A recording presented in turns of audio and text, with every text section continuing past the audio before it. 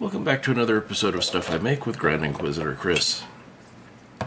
Now, I belong to a whole series of uh, web forums and web pages and uh, sites and stuff, and one thing that I've seen a lot of people talk about is the uh, idea that they're just starting out this hobby and what do they need to get to paint figures. And every time that I see this question posed, everyone says, oh, well, you need to get this paint, you need to get that paint and everyone basically just uh, wants to pitch their favorite paint and everything. So what I'm going to do is go through this video a little differently. So you want to get started on painting. Um, it doesn't matter what you're painting, if you're painting a figure or painting terrain. Um, I'm going to tell you what you need and then I'm going to make a basic uh, suggestion as far as what I think would be best for a beginning painter. So first thing you're going to need is a figure or something to paint. Now in this case this is a pre-painted figure, but let's just say this was something I wanted to paint. Now, um, if you're just beginning painting, something you need to understand is your hands have body oil on them, so anytime that you go to paint something, you're going to want to wash your hands first. I usually use dish soap, that way it gets all the oils and everything out of my skin. If the figure that you got is something that you assembled out of a kit like a Games Workshop kit or something where you're having to glue it together, you probably have fingers, uh, you probably have body oils and stuff from your fingers handling it on the figure. So before you actually paint the figure, you're going to want to go ahead and clean it. You can either clean it in uh, soapy water, or if you just want to go ahead and um, the biggest areas where the paint would come off because the body oils would be the raised surfaces. If you just want to take some rubbing alcohol and a small piece of paper towel and here. I have some of these uh, shop towels that I've cut up into small squares. Put some alcohol on it. Rub the figure down. It's going to get all the raised surfaces which is where the most wear and tear is going to be on the figure. So that's where the paint will wear off the first. Okay so let's say that you got a metal figure. Um, I've seen some people talk about uh, putting metal figures into acid or something to clean off the body oils on them. So uh, that they can get all of the oils and everything off the release agents. You don't need to do that. Um, at least I haven't had to. Uh, there's very few companies that leave enough release agent on them to make that into a problem. Um, if you want to make something super long wearing, something that you're really worried about, you can go ahead and soak them in a solution of watered down vinegar. Um, do that for a while. Uh, some people go really overboard with it. And I know a person that actually when they primed them, they would put them in the oven and bake them for an hour and a half at like 150 degrees just so that the, the primer was baked on. Um, I don't do that. If you're doing plastic figures, it's not going to be a huge problem. Um, plastic, thankfully, because it's not heavy and it's uh, not going to rub against stuff really hard, the paint will generally stay on fairly well. So like I said, first thing you're going to want to do is if you assembled the figure, just wipe it down with something like some alcohol or something to get all of the body oils from your fingers off of it. The next thing you're going to need to do is you're going to need to prime it. So a lot of people will tell you their favorite uh, version of priming if you're just getting into painting figures and, and terrain and stuff. If you're, uh, for the figures especially, you need to prime it just because that gives the paint something uh, good to adhere to. I myself use the cheapest spray paint they have at Walmart. It's like 98 cents a can. This is a can of flat black. Um, if you want to invest in a more expensive primer, you can. If you're doing something with styrofoam or the uh, foam board, this stuff will eat into it. Um, there is a brand of foam paint made by Krylon that you can get. Um, probably have to go to a craft store to find it. That you can actually spray on styrofoam that doesn't eat into it but you're going to need to prime it however you're going to do it. If you're doing terrain, you're going to see people talking about black bombing it. And what black bombing something is, is they take uh, acrylic craft paint and they brush it on. And the reason it's called black bombing is because the uh, probably the two most used colors are going to be black or white craft paint. Um, black especially because it gives you the nice dark color to start out with and it also makes it easier to see if you missed a spot because if you black bomb it and it's on styrofoam, you're going to see the styrofoam poking through, and you really want to make sure that you coat it well. So that's what black bombing is. It's basically just priming it with craft paint. So let's say that you've gotten to the point of you've got your figure, you've assembled it, you've cleaned it, you've primed it. Um, another thing that you're going to want to look at is uh, if you're going to do spray priming, I bought one of these at Walmart in the spray paint section. It's just a little attachment that goes on top of the can. If you're doing a lot of priming um, or a lot of sealing, this is an incredible tool to have because your hand and your finger will get tired very quickly. This makes it easier to just hold it and spray. Okay, so let's see. You've got your figure, you've, you've uh, cleaned it, you've assembled it, you've cleaned it, you've primed it, you're ready to paint. Now you're going to need some paint brushes. Now I've seen people post uh, threads saying, well, okay, well, I want to start painting, what kind of brushes do I need? And I see a lot of people pointing out these expensive brushes that you can get at the game store that they go to. Um, brushes can be incredibly expensive. And as you paint more and more, you're going to find that you need a variety of brushes. Now, I've been working on figures for probably 30 ish years that I've been into gaming. And the first paint jobs, let me let me just clarify something that everyone should know in the beginning. The first things you do are going to suck bad. And the reason they're going to suck bad is because every aspect of every hobby has a learning curve, painting especially. Because you need to learn how to apply the paint, you need to learn um, the techniques for highlighting, for shadowing, for all of these things. And you're going to have to learn how to use your paint. You're going to have to learn what brushes to use. You're going to have to figure out how much detail you can put in. Uh, my hands shake real bad, so I uh, tend to not do very much figure painting anymore um, because I can only do a few figures before I'm just really worn out and tired from it. But I do still do some of the figure work, and I do still do some of the larger figures, uh, vehicles and stuff. But you have to figure all these things into what you're doing. So if you're just getting into this aspect of the hobby, if you're just getting into figure painting or terrain painting or whatever you want, let me make you some recommendations. Because something that no one ever seems to really recognize when they recommend their favorite paintbrush or their favorite paint uh, brand is that every paint is different. Um, the different manufacturers make paints in different thicknesses, uh, different pigment saturations. The pigment is the coloration agent in it. So the more pigment you have in something, the more intense and deep that color is going to be. Um, the thinner the paint is, the more times you're going to have to go over it with that color. So it's not going to be just one coat and it's done. You're going to have to go over it in several coats. You're going to have to determine how far you want to go with your figure. For those of you that have seen figures for the Games Workshop games, Age of Sigmar, uh, Warhammer Fantasy, Warhammer 40k, um, Necromunda, all the games that they're putting out, some of the articles in the White Dwarfs have literally 40 different steps that they will take to paint one figure. And I don't think you're going to be at that point if you're if you're just getting started. So let's talk about my recommendations to you if you're just getting started. Not just because it's what I like, but because I think it's going to be the best for a beginning painter and the best uh, bang for your buck. It's going to be the most effective economical means for you. Now, a lot of people are going to suggest uh, professional paint companies like Citadel Miniatures uh, makes uh, paints. You're going to find Army Painter, Vallejo Paints, um, a whole series of different companies that make paints. And each of those paints is going to be slightly thicker or thinner than one another. Um, some of them are going to require chemicals to clean your brushes, some of them are not. Most of them are going to be acrylics, so you'll just be cl- uh, cleaning your brushes and cleaning up with water. But depending on what company you use, is going to determine a whole list of learning factors to use that paint. So, this is what I recommend if you're just a beginning painter. Go to a craft store or even to Walmart and use the craft paints.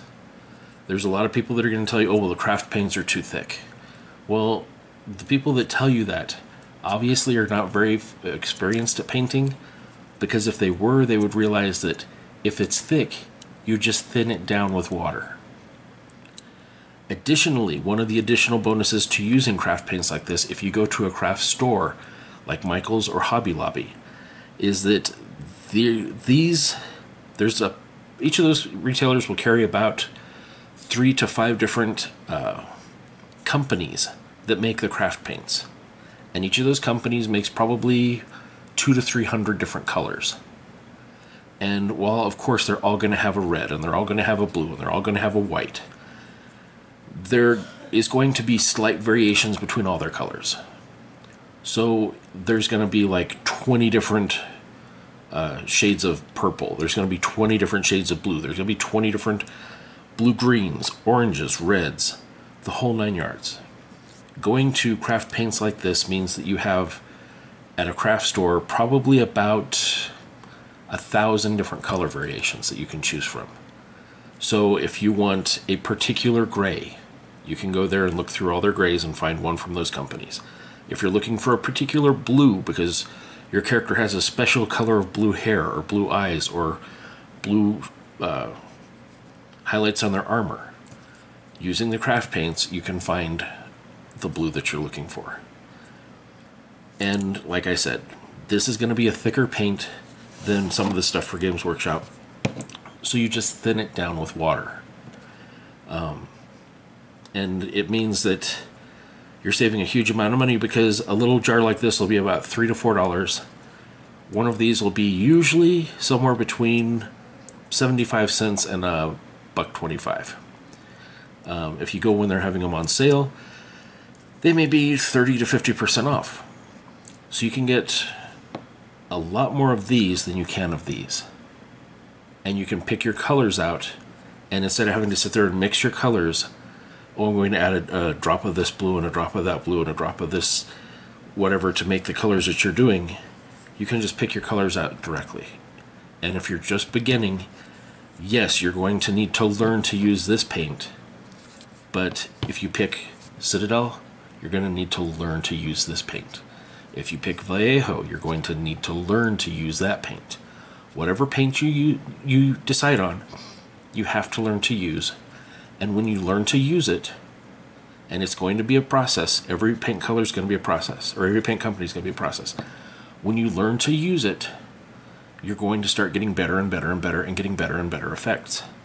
And another bonus to using the colors from the craft stores is that when you use these, there's going to be a whole variety of specialty paint effect stuff that you can get. So you can get pigment extender that allows the paint to dry slower and makes the paint uh, stay wet longer for doing things like blending or weathering. You're going to find crackle effects that allow you to cause the paint to crack up as it dries so you basically get the undercolor showing through. You're going to find pearlizing mediums that make it look uh, kind of jewel-like or creamy. You're going to find all of these different things that you can add in and they're so much cheaper, especially if you're learning, than going ahead and, and using something like these. Now, next thing you're you have to do is you're going to need some brushes. So, I've seen people post, well, what what do I need to do to get brushes? Uh, what brushes are good to get for my painting? And I'll see someone post a paintbrush that costs five bucks, seven bucks, twelve bucks. These paintbrushes can get super expensive super fast. So if you're just getting started, if you go to a craft store, um, you go to a craft store like Hobby Lobby or uh, Michael's or even Walmart in their arts and crafts section, you're going to find these bags of brushes. And they're not the greatest brushes in the world, but they're also only $5 a bag. And the reason I got a couple here is because there's actually this, the company that does these makes three different varieties, and I couldn't find the third variety. But you basically have this one, which has a lot of standard paint brushes. You've got these nice big ones. Um, you've got some fairly thin ones. You've got a second one which has a variety of some uh, standardized brushes, a few sponge ones and a few big ones. And then there's a third one that I couldn't find that uh, has a ton of sponge brushes. So you've got the sponge brushes like you have here. You have little dabbers, a whole bunch of sponge brushes, and I think that one's going to be used more for stenciling. Um, it's great for some of the weathering effects. There is a use for it, but for the price of two of the paint brushes that I could get at a uh, that I would need to get at a craft store, or one paintbrush if I got it at a game store because the game companies are so expensive, I can get two entire bags. And so let's open up this bag and we'll talk about why it's such a great deal. Okay. So you're going to need to get a brush for doing your detail. So in here, here's a brush. This will be good enough for doing most of your detail work. Like I said, you're going to need to learn to use your paints. You're going to need to learn to use your brushes. Uh, if you've got a slightly larger area like a cape, you've got this brush um, large flat surfaces if you're doing something like a writing beast. Plus we've got all these brushes. Um, you're going to have a ton of stuff. If you wet this one down, this one's fairly fine. That one. That one.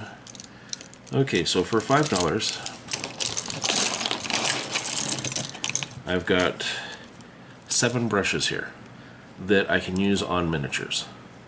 And they're not going to be the most tiny detail brushes, but unless you're at the stage of actually sitting there and painting in the eyeballs and painting in lettering and everything else, as a beginning painter, this is what you need. This bag was five bucks. You got seven brushes for your figure. Now let's see. Let's say that you want to make a little altar or something, and you need to do some uh, terrain painting. You got these ones for dry brushing. Dry brushing takes a huge toll on brushes. So you've got these two for dry brushing. Um, if you're dry brushing something smaller, you've got these two, three for dry brushing. Okay, so for five bucks, we've got seven brushes to use on your figures. We've got five brushes for using on dry brushing. And this one for the figures, this one would be good for dry brushing as well. For the figure size stuff, if you're doing something larger, like I said, terrain painting or uh, painting up like a a larger figure like a dragon or a, or a golem or something, you have these ones. So seven brushes for painting your figures, five brushes for dry brushing. If you're doing a really large piece and you need a lot of coverage quickly,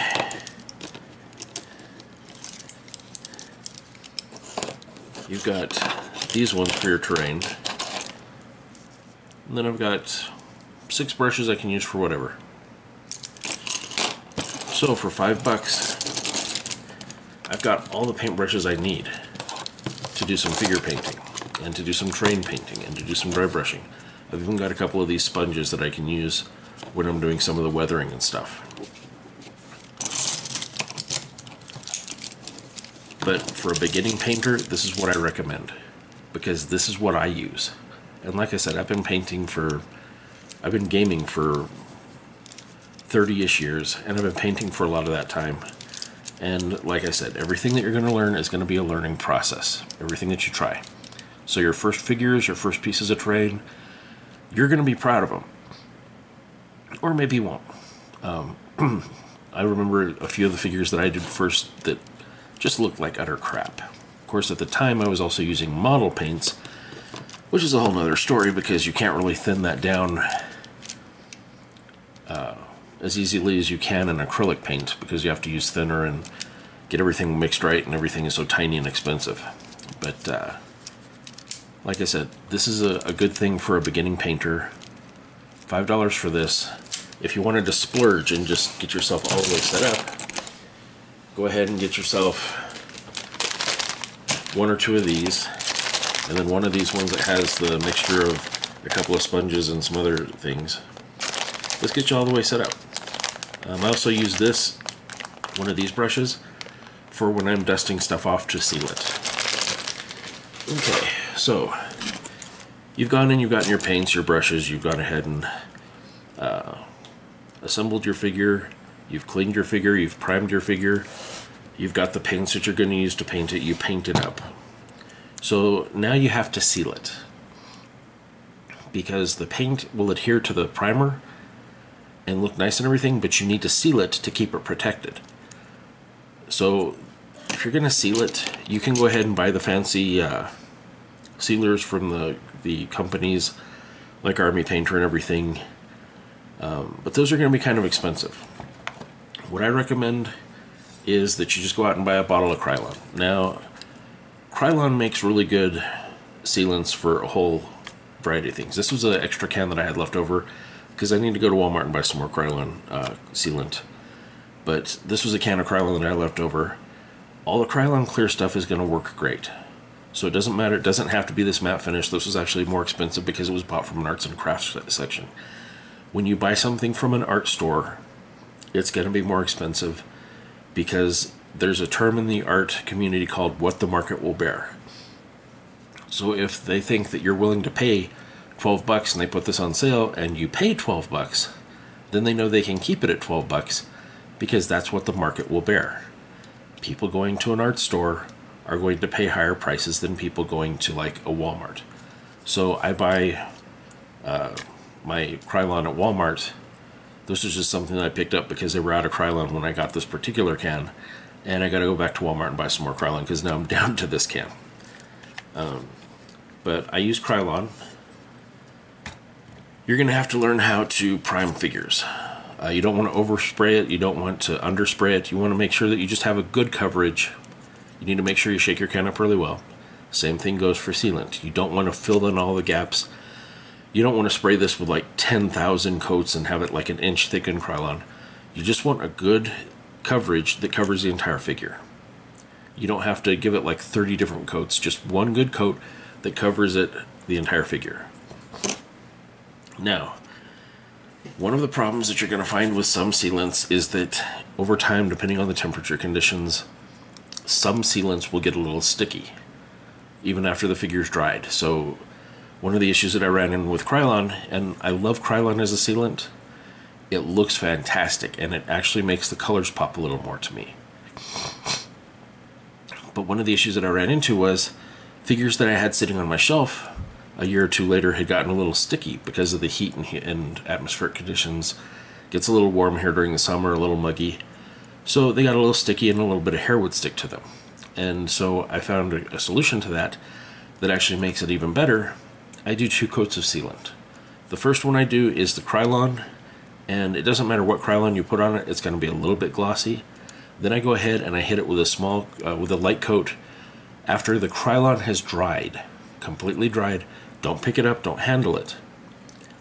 But after the Krylon has completely dried, I go ahead and give it a coat of Testors Dull Coat Lacquer. Now that is something that you do have to go to an art supply store or a model shop to get. It's about $5. It's in a tiny little spray can.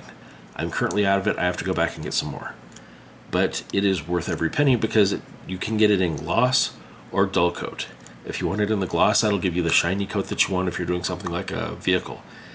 If you're doing a figure that is a person, you don't want them to have shiny skin. You want them to have nice dull coat skin. So when you hit it with the dull coat uh, lacquer, it's going to take that, that shiny Krylon finish and make it flat. And the Krylon, like I said, with the Krylon, just give it one good coat so that you've coated the figure. With the Testors dull coat, you may want to go back because you're not. With the Krylon making everything shiny, when you spray it with the Testors dull coat, it's going to be shiny, but it's already shiny. So let the Testors dull coat dry. Look at your figure and see if you missed any spots, and just give it another light spray. Um, that's my recommendations. Like I said, if you're just getting into painting, don't spend twelve dollars on a brush. Don't spend. Don't even spend five dollars on one brush. If you're just learning, spend five dollars on one of these bags. If you're just learning to paint, my recommendation is get this.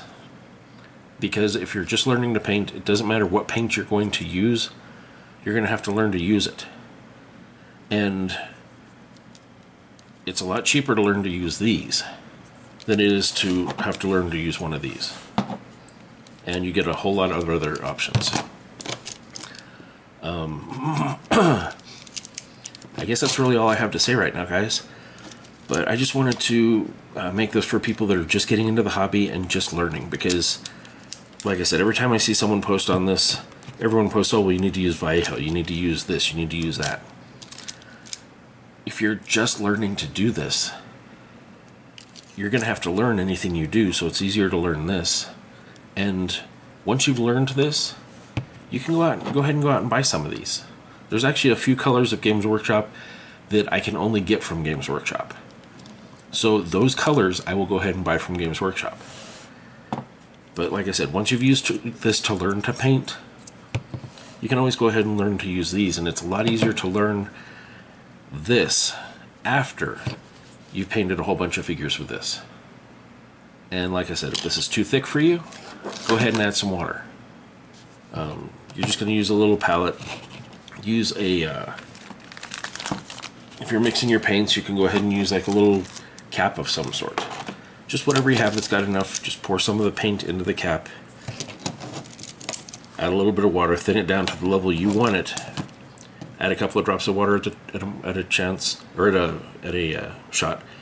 Thin it down to what you want it to be, and then paint. It's not that hard, and it doesn't have to be as expensive as everyone seems to make it out to be in all of the videos, or in all of the posts that I've seen. Um, just wanted to give you guys this heads up.